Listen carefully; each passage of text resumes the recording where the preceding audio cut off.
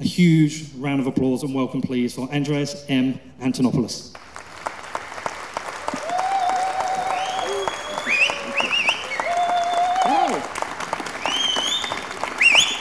Good morning.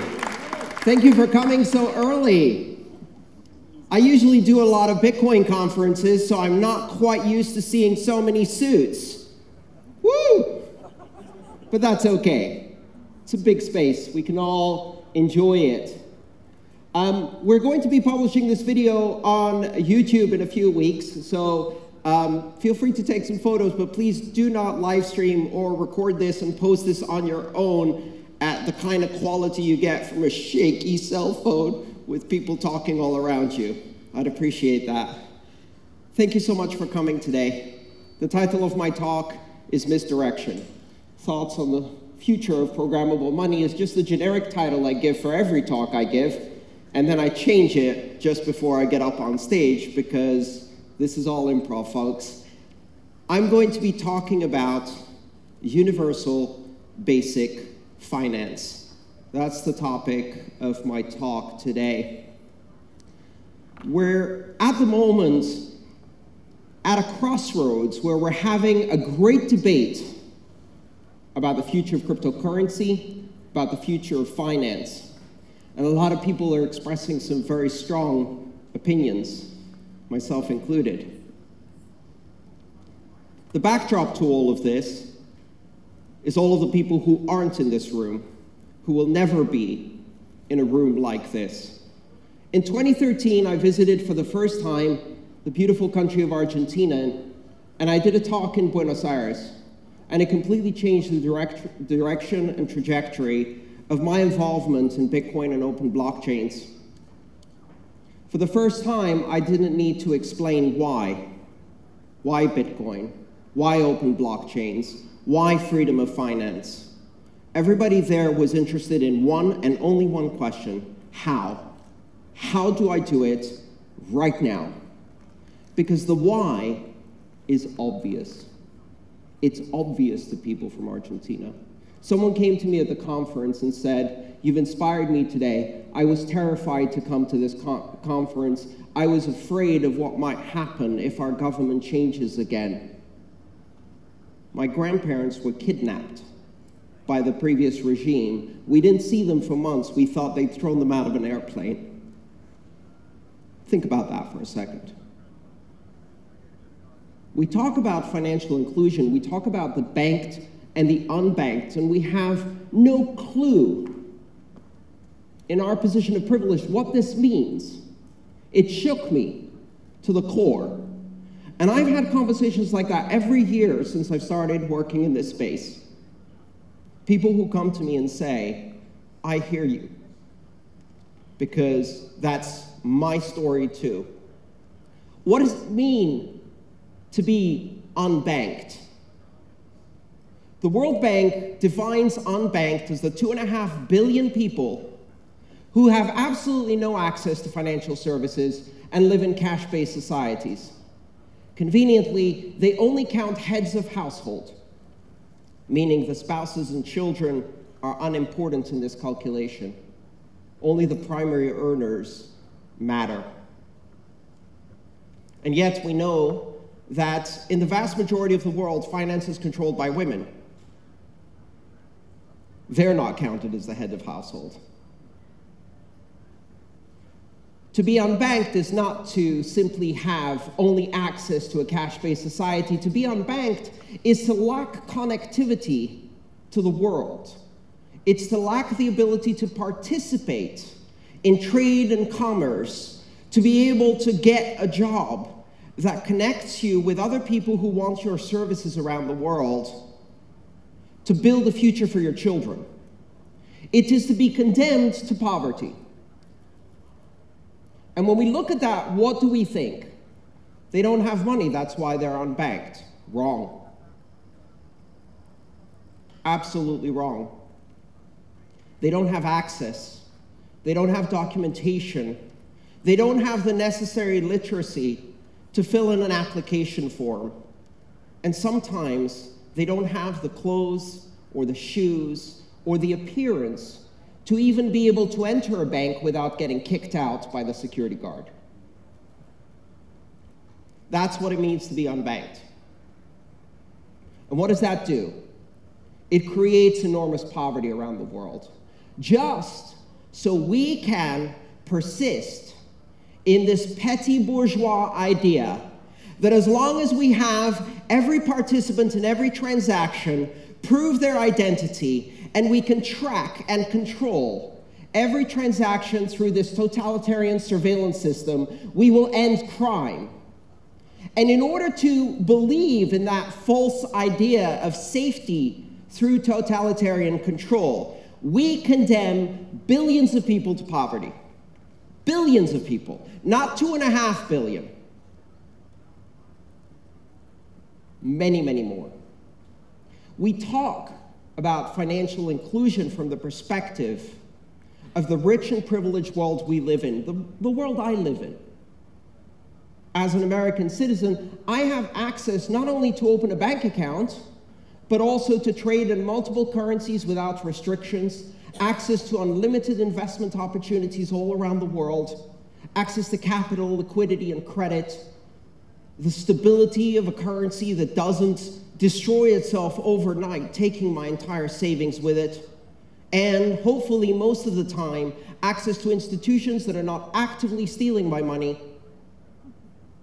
or governments that are not actively destroying the currency in order to pay off their debt through shadow inflation, hyperinflation, and then finally financial collapse. How many people have that? Everyone in this room, probably.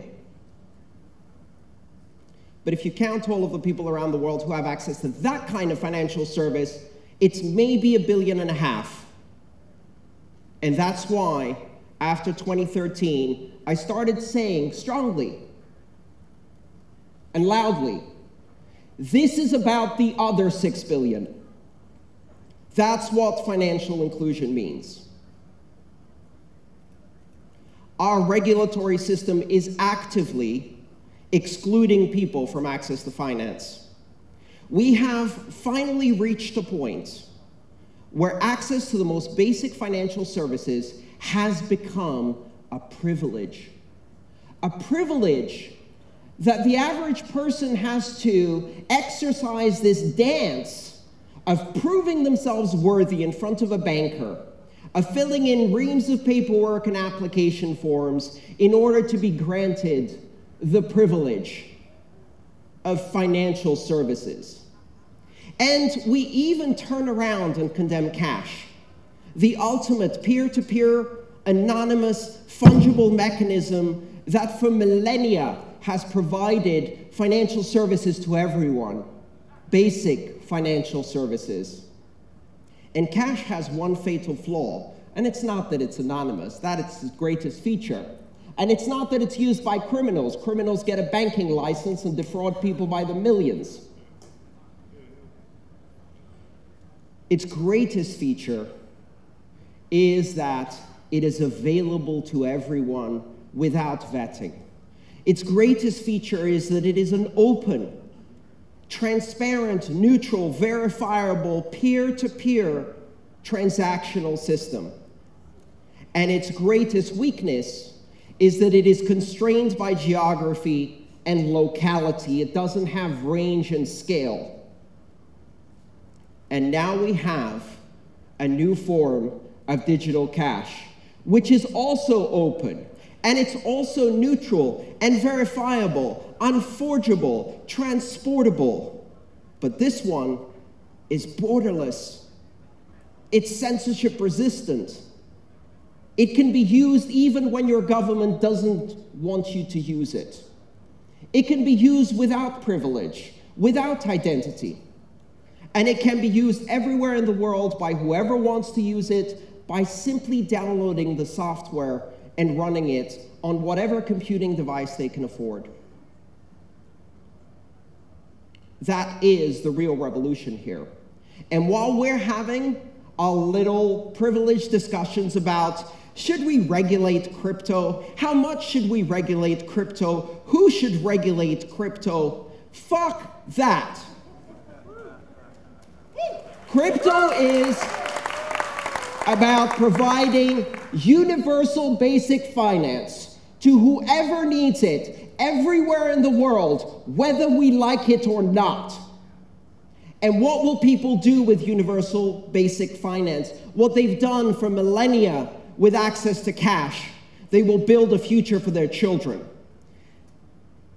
We are paralyzed by the fear of a few bad actors, blinded by the fact that the worst actors are the ones who act with state privilege and endorsement, with the intelligence agencies hand in hand inside the surveillance capitalism mechanism to fund dictators and drug lords all around the world with our tax money to the tune of trillions.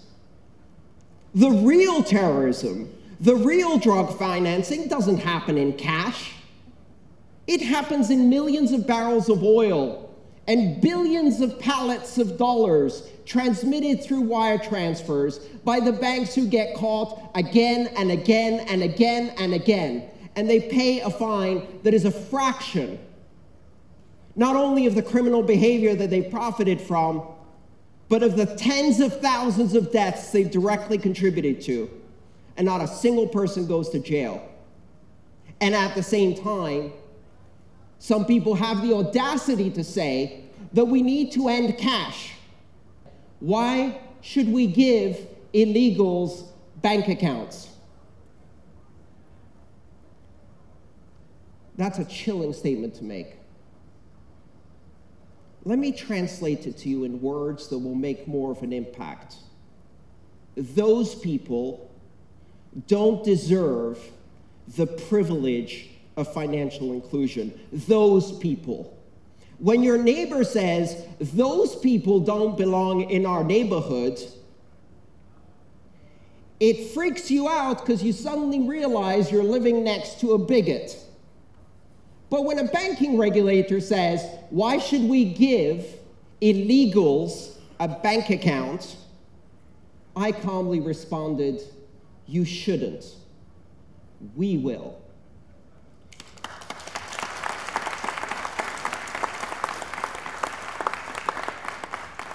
At the last conference I attended, after I gave a speech decrying the lack of security and financial inclusion, a young man came to me and said, This really spoke to my personal story. Young man in his 20s has been living in Western and developed countries for the past 15 years, has not been able to open a bank account in 15 years. Every time I write my name and place of birth in the application, the process is already ended. I was born in Iran. I didn't choose that. I didn't do anything. I pay my taxes. I have a job. All I want is to deposit my paycheck in a bank account so I can buy groceries. For 15 years, I've been unable to do that. That is the face of the unbanked. There are people walking the streets around you in this city of privilege, in the independent district of the city of London, bought and paid for by banking corporations, in this little enclave that is the Vatican of capitalism, a city within a city.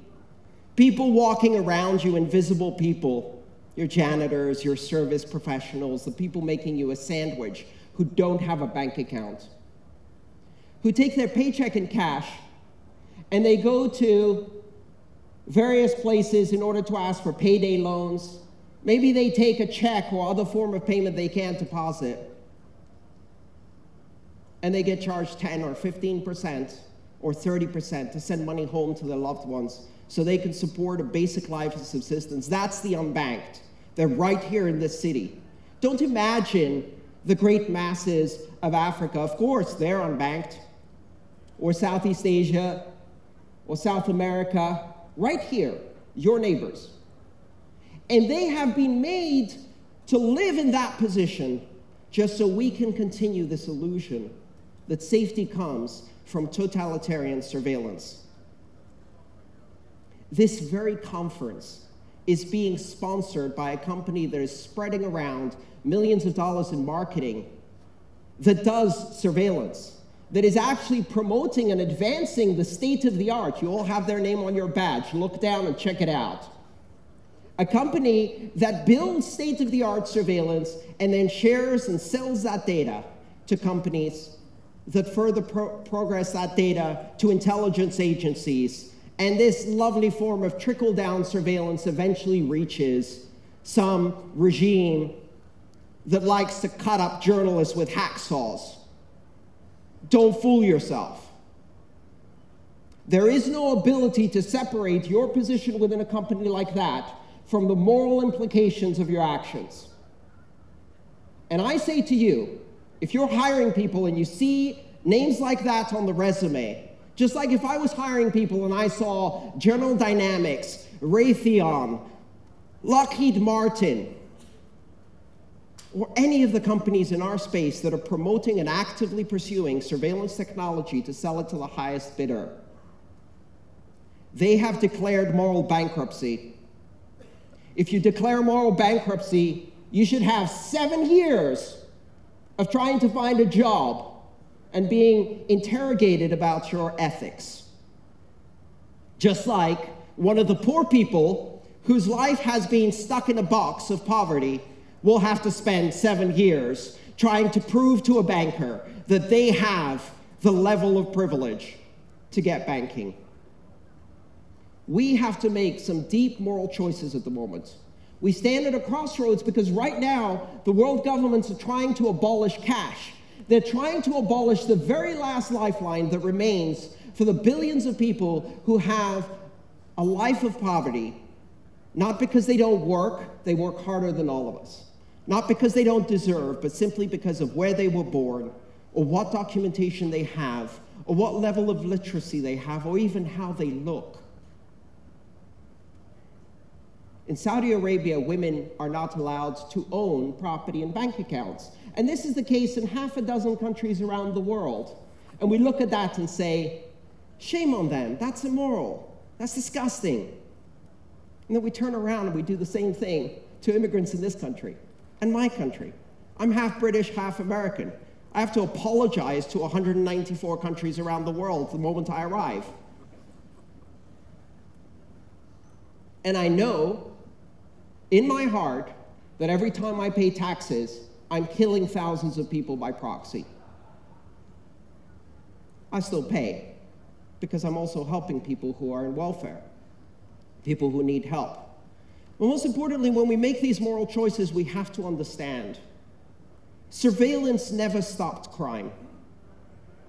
Surveillance is the license given to the people who are on the top of that to control our lives. They will commit crimes. They will commit the worst of crimes, what I call mega crimes. And I know Britain doesn't use the metric system, so mega is the prefix we use for millions. A mega crime is one where, for example, you foreclose on a million homeowners and don't go to jail. That's a mega crime. We're doing surveillance and analytics to catch a petty drug dealer who's selling pot for Bitcoin. Who's doing surveillance and analytics on Lockheed Martin? Who's doing surveillance and analytics on the money laundering banks? Nobody. Do you know why? None of them ever go to jail. The regulators are completely captured, and the very system of controlling finance from above by having levers of power over the lives of millions of people, billions of people, of having the audacity to cut off entire countries and say, well, they're under sanctions. They're not privileged enough, they're not people enough to gain financial services. Guess who that attracts? If you build levers of power like that, the very worst sociopaths in our society are attracted like flies to shit to grab hold of those levers of power and destroy all of your freedoms as quickly as they can. We are building societies in which one bad election is the last election. And if you don't believe me, look at what's happened in Turkey, what's happened in Russia, what's happened in Venezuela, what happens every day to billions of people around the world. Let me end on a positive note because you're probably a bit freaked out by all of this. You should be. This is serious stuff. Open, borderless, public, transparent, neutral, censorship resistant, strictly private cryptocurrencies exist. They will not be regulated. They cannot be regulated, not by committees, because they're regulated by mathematics. They're regulated by algorithms. They provide certainty of transaction. They provide programmable customer protection. They provide reputation management. They provide access without identity. They give billions of people eventually not just a bank account in their pocket, but a bank in their pocket. They democratize the function of banking and turn it into an app that everyone can access without vetting because they've already pre vetted. They have agreed to download the software that follows the rules of consensus, and that is the only vetting required in these systems. But we shouldn't allow that. We did. But we can't have people make anonymous transactions. They will. But we must regulate this. You can't. And you won't. Because six billion people need this. And you have neither the moral authority nor, more importantly, the practical capability to stand in their way, or even to stand in the way of what is going to be the greatest revolution in financial services in three centuries universal access to basic finance. Thank you.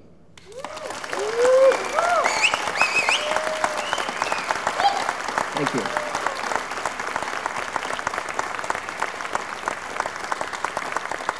Thank you so much. Thank you. So, thank you.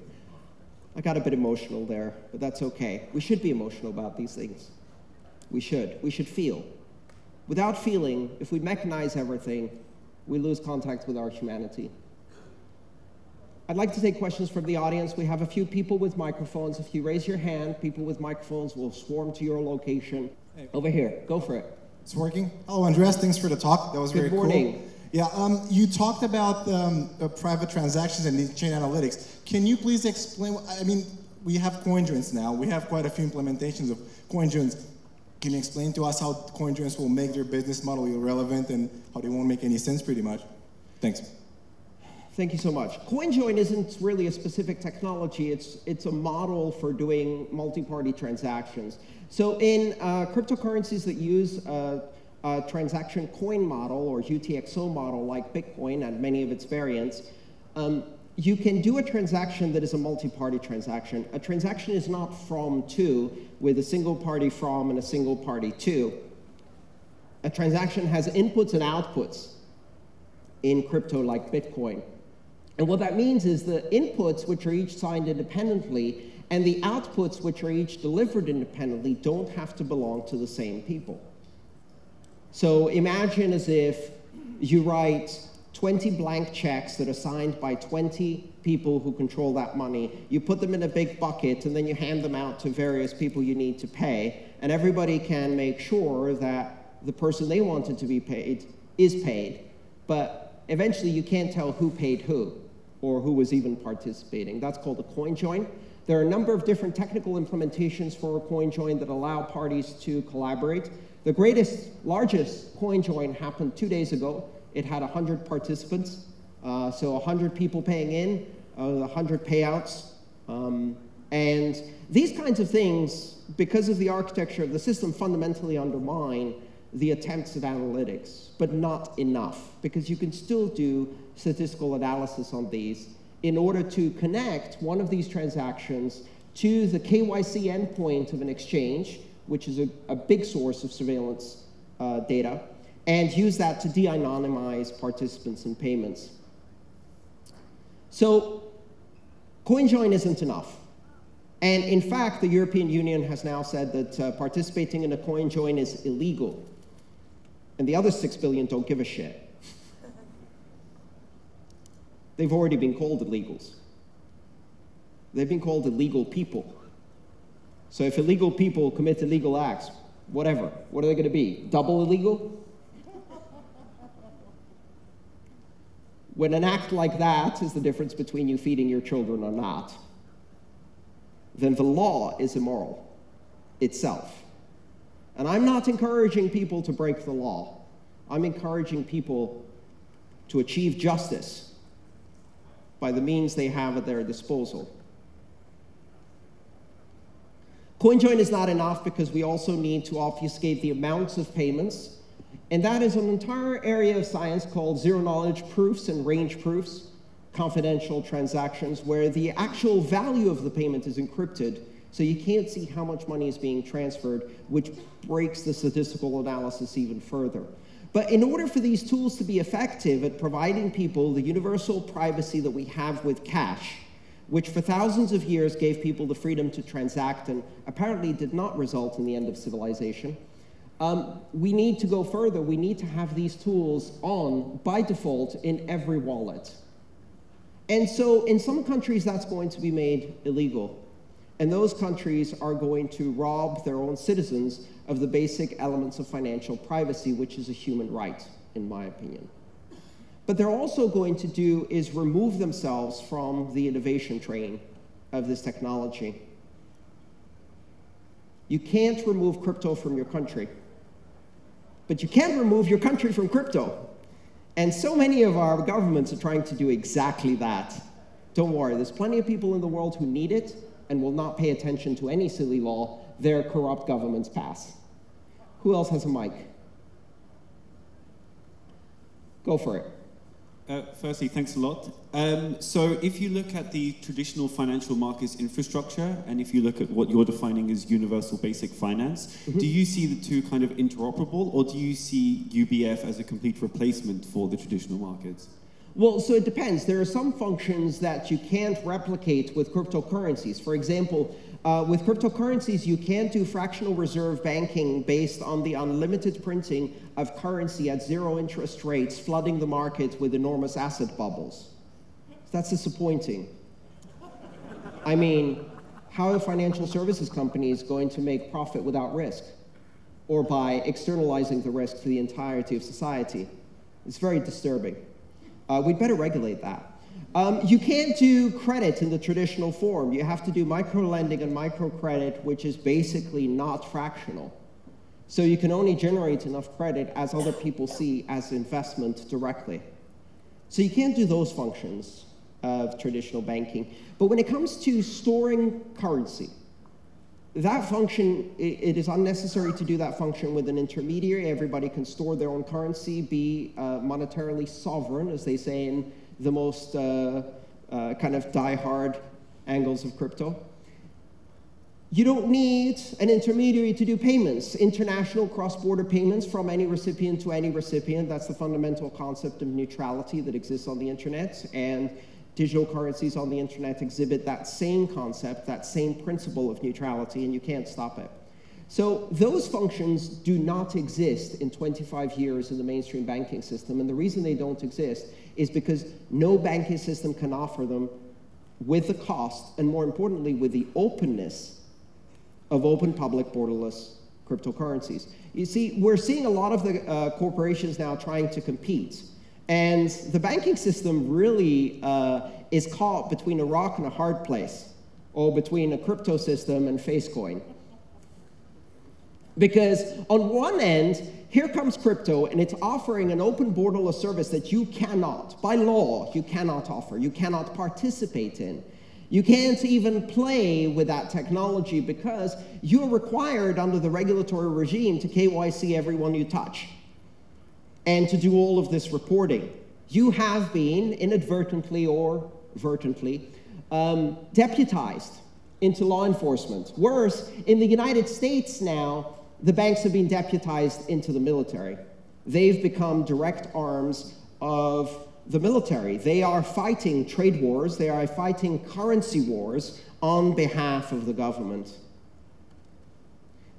It's a very bad position to be in because you can't play in crypto. You are prohibited from playing in crypto. That's okay. Crypto serves a different purpose. But on the other hand, banks have traditionally been the greatest investors in technology and have prided themselves to be these beacons of technology and innovation. Well, here comes Facebook, here comes Silicon Valley, and they're not going after crypto, they can't. For exactly the same reasons the banks can't. They're regulated entities, they exist in jurisdictions, they're not open source projects that are not controlled by anyone. They're systems that are absolutely centralized and controlled, so therefore they will have to do all of the KYC, AML, and borders that traditional payment systems do. They cannot be open, borderless, neutral, censorship resistant, transparent, public, immutable. Because all of those things are prohibited under the money transmitter and banking regulations. Therefore, they will be closed and centralized, censorship laden, surveillance driven. And they'll do that better than the banks, faster than the banks, with better interfaces than the banks. And they start out of the gate with two and a half billion customers. You are so screwed if you are in the banking industry right now. It's coming from both ends, and you can't fight either side. But that's okay, because change is good. It's good for consumers. It's good for people. If I was in the banking environment right now, I would be screaming to stop the train of regulation, financial surveillance, and exclusion because it will bury you without stopping any of your competitors who operate in the open source, borderless environment that the internet is. Next question. Over here? Go for it. Okay, one second. Microphone two. Hello. There we go. Uh, thanks, Andreas. That, that was an amazing talk. Thank you. My name's Brian Spector. I'm from Credo. We've um, open sourced. And the uh, question is? A dig- yeah. So, uh, um, do you think more enterprises um, from the traditional uh, sort of cybersecurity space uh, will will jump into this market? And uh, what do you think the impact of that will be? As sort of mainstay technology companies, not just Facebook and Facecoin, but folks like Symantec, RSA, McAfee sort of jump into this area. What do you think the impact of that will be? So the traditional model of security is one on protecting concentric circles of access um, based on firewalls, based on access controls, based on uh, procedural process and operational controls. That model assumes that there is a privileged center that has access to all of the information, and then you have concentric layers which are more and more open, which have less and less valuable information. The problem with that model is that the internet destroyed that model. And the reason it destroyed it is because the center has the most stale, uninteresting information possible, and all of the collaboration and content building and the great richness of our information society operates in the public sphere on the outermost circle. And worse, if you build these types of security mechanisms, you end up isolating the people inside those walls and making it difficult to, for them to access these services. I don't know if you ever tried from a corporate environment to access certain websites that you know are wealth, wealth of information. They have this wonderful resource that you want to download, and it pops up a little message that says, Your administrator has blocked access to this website because it contains objectionable material. Well, that is the story of modern security in a nutshell, that little message right there. Um, and this uh, idea of turning inwards and building walls and keeping out the hordes, keeping out the barbarians of the big open public internet, is reflected in our society. It's a medieval idea. It's a medieval idea of castle walls. And the problem is that you have to open the gate every now and then to let traders and food in, otherwise, you starve. And in the information age, you starve by irrelevance and lack of access to information. So, traditional security companies are welcome to come into this new space of open public blockchains. And what they can learn is we have a new model. And this new model is an open public platform that ensures security not by restricting access, but by collaboration through game theory based on incentives and punishments that operate through an embedded monetary system that ensures that people behave according to both self interest and in alignment with the consensus rules. This is an incredibly powerful new security model for open access to information as well. We can use it to re decentralize the web. We can use it to open information that needs to be open. It puts the ultimate control and responsibility over security into the hands of the individual keyholders who control their own destiny and moves that data back into their hands. It is a non custodial model for security, which also means a non custodial model for identity, a non custodial model for your personal data. We can use this new security model to fix the web, which has lost some of its original promise. But don't fret, because out of the compromised, surveillance laden web that we have today, out popped the black swan of Bitcoin. It's still capable of delivering surprises. It's still capable of delivering freedom in disruptive viral packages that you cannot stop. And it will do it again and again and again. And now Bitcoin has popped out another 2,000 systems that emulate that model and is exploding that space of innovation. Security has also been massively disrupted by this model. Who's got a mic? Over there. Hi, Anton. Hello. Sorry, Andreas, thank you very much for your presentation. My question is in order for the universal access to finance that you're talking about to occur, it needs a very sophisticated distributed architecture.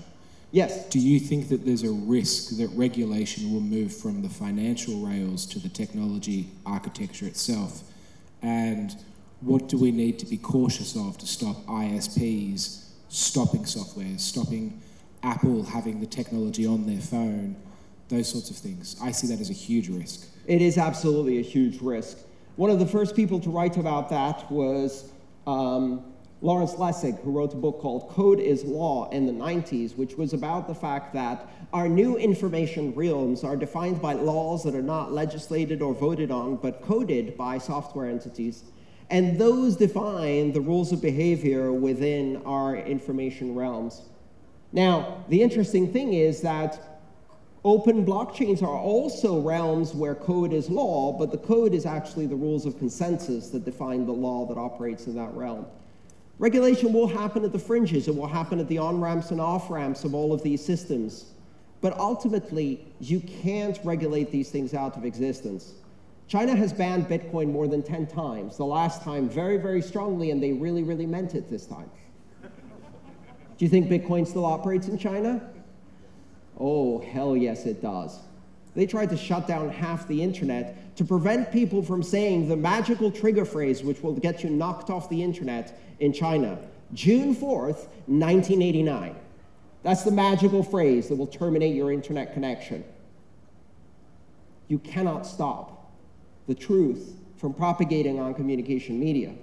And you cannot stop computing from being general purpose computing. You cannot stop any computing from being general purpose computing, and God knows they're trying. Governments around the world are trying to mandate encryption backdoors, which don't work. And no matter how many technologists explain very, very patiently and very, very politely that you cannot give golden keys to the good guys without giving golden keys to everyone, at which point the bad guys or gals have access to the same information. You can't persuade these intelligence agencies that keep losing our data and leaking like sieves that they can't do a better job of security than all of the private sector has failed to do already. Two days ago, it was announced that the Customs and Border Protection agents in the United States lost 100 million photos that got leaked. From the little cameras you see at the border post where they take a nice photo of your face straight on. Really, really nice, well lit photo uh, straight on with your eyes open, no hats, no sunglasses, the kind of thing that's kind of perfect for facial recognition. The bad guys have it now. Be prepared for a reign of terror of surveillance where watching happens bottom up, grassroots with applications on phones, where people can track you from the background of a photo where you appear accidentally. Unregulated people, not dysregulated people like we elect all the time.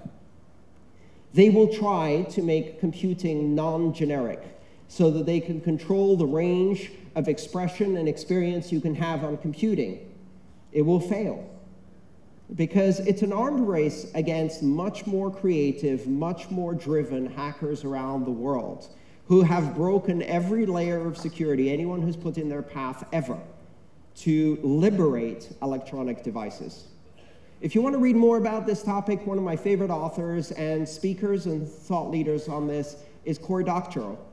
And you can learn a lot by understanding his premise on general purpose computing and why the attempts by governments like the UK, primarily, but also France and other European countries, and of course the US, to ban encryption, to control general purpose computing, not only fail, but they create the kind of totalitarian society in which the people who hold those levers of power, the ones who ask you for ID before you look at porn, um, and then leak all of that information all over the internet, oops, um, those are the people who become the most dangerous people in society. Those are the new Stasi. We, we, it is really shocking to me, as someone who was born in this country, to watch this country forget the very lessons that Europe learned 60 years ago and go down that exact same path, blindly giving enormous power to elected government as if the magic of voting preserves freedoms and institutions. It doesn't. Microphone? Who's got it? Hello. Yeah, um, thank you so much. Building off the question, the past few questions uh, about. I don't know where you are. Oh, there you are. Thank you. Sorry. Thank you, sir. Um, so CoinJoin, I think only 4% of coins are held in UTXOs that have been obfuscated. In the last answer, you mentioned that the regulations would happen on the margins on these on and off ramps, but now we have FATFA coming trying to impose uh, the travel rule on these yes. on and off ramps, and 20% of coins are held just in Xapo, Coinbase, Kraken, Binance. Yes. That's not really the margins. It seems to me that there is an immediate threat of kind of a bifurcation of the network, which has been discussed for years, but seems to be coming at us quite quickly. How do you yes. think that might play out in the coming months or years? Financial privacy underpins the right to freedom of expression, freedom of association, freedom of the vote, freedom of assembly. Because without those basic financial privacy rights, if everything you do can be tracked through your payments, your purchases, then all of your associations and all of your expression and all of your uh, acts of freedom can then be punished after the fact severely enough to deter anyone from exercising those freedoms. We've got to think about two aspects of restraint. One is a priori restraint, right, which is explicitly prohibited in, for example, the US Constitution. Um, and of course, in the British Constitution, Oh, sorry. Uh, tough point there. You don't have one.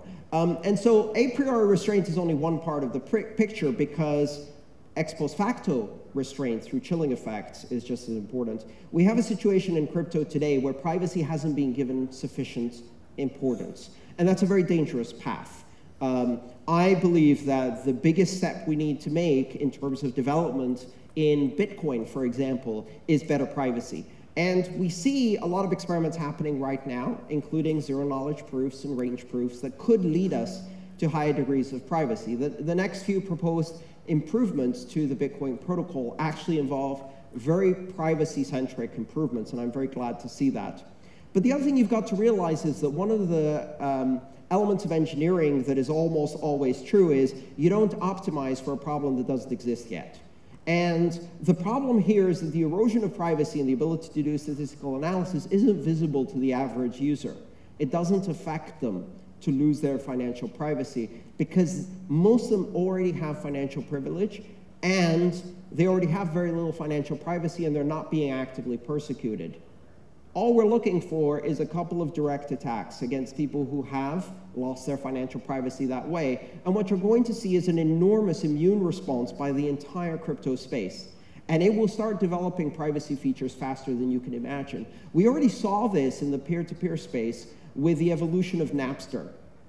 Napster was the friendly, cuddly bear of peer to peer file sharing. It was the one that wanted desperately to make a deal with the music industry. But they said no and they shut it down. So Gnutella popped up, and they shut it down. So LimeWire popped up, and they shut it down. So BitTorrent popped up, and they can't shut it down. They evolved decentralization by creating exactly the kind of hostile stimulus that a directed evolution technology that can move and mutate fast enough by the most creative and determined people who you can't hire because they're not interested in money win that arms race by evolving and mutating that technology until it can resist the attack. Nicholas Nassim Taleb calls these systems anti-fragile. They're systems that not only resist attack, but in the process of being attacked, evolve strength and become more and more robust. The internet is an anti-fragile system, and open blockchains are anti-fragile systems. I'm not worried. We already have privacy-centric blockchains, and those blockchains are leading the path in terms of research in order to help us adopt these in a more generic way across the board. We've learned the lesson of the internet.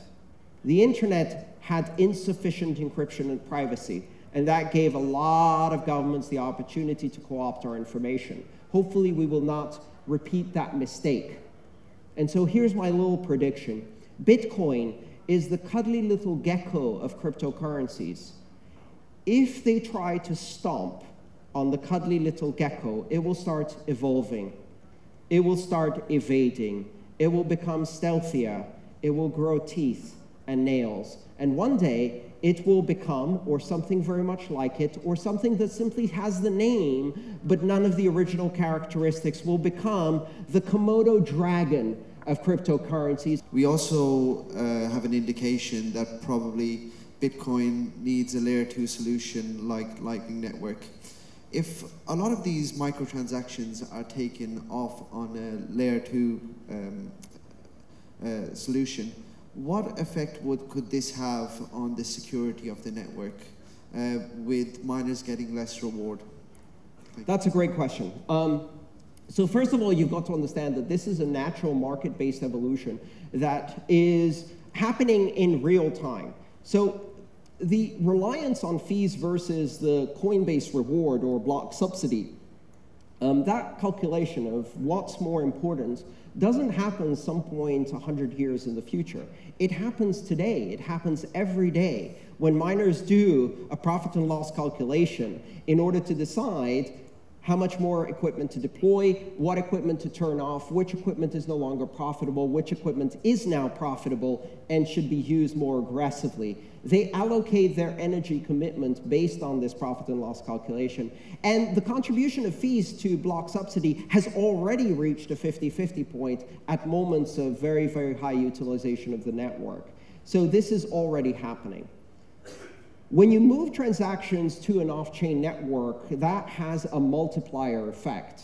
And the multiplier effect is not to not have transactions on the base layer. It's simply to say, for every one transaction on the base blockchain, we can do thousands, tens of thousands of transactions perhaps on the second layer without incurring additional fees. But you still need anchoring transactions to open and close channels. Now, increasingly what we're going to see is this hybrid environment where your wallet will choose what to do based on the circumstances, the level of fees, the amount of payment you want to make, and it will do intelligent routing, just like we do least cost routing in telephony or uh, shortest hop routing on the internet.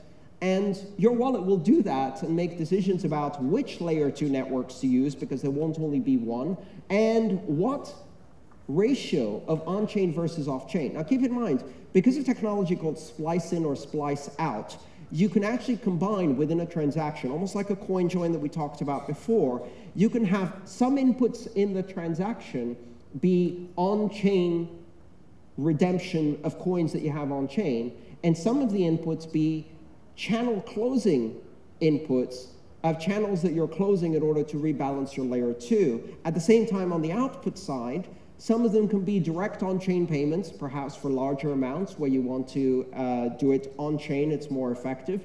But some of the outputs will be channel opening outputs that open new channels to better balance your activity on layer two. There will not be one set of transactions for on-chain and another set of transactions for opening and closing channels. Those things will happen simultaneously. There'll be plenty of transactions on the network. In fact, layer two is only the first step in a scaling journey that has to involve hundreds of steps and infrastructure improvements and new algorithms and new ways of balancing the essential requirements of security, scalability, and decentralization in a way that allows us to bring this universal basic finance technology to everyone. We cannot solve this with one magic bullet any more than you can solve the scalability problem on the internet. Because the moment you solve the current scalability challenge on the internet, it opens the door for every application developer to say, huh, I think we can do 4K video now. And then you have a new scalability problem.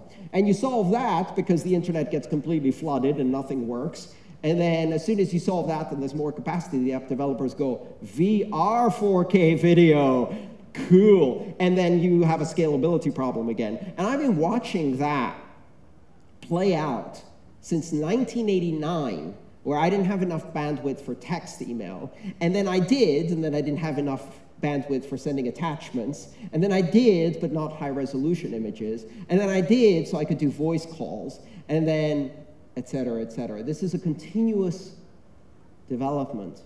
Um, the engineers in this room will probably understand me when I say, if you give me a fiber connection that offers me 100 gigabit internet to my home, the first thing I do is I call the internet service provider and I say, did you really mean that? Like 100, like can I actually use it? And like, uh, we can assure you, sir, this has happened to me.